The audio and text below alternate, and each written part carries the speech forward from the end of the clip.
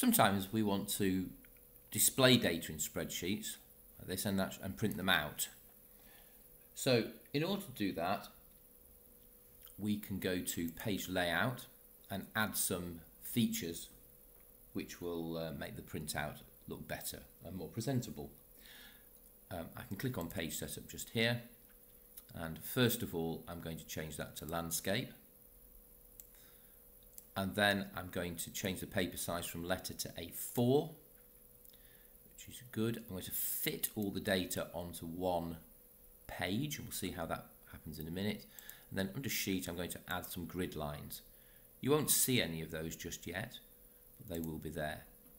Then in the header I'm going to customize that and instead of it saying just that I'm going to take that out and put in my own custom one my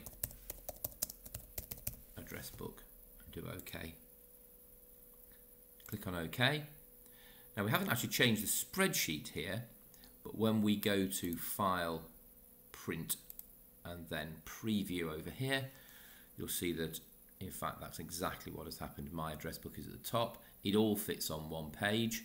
The grid lines have been put in and the page is landscape. So we're pretty happy with that and we could print that out and give it to somebody.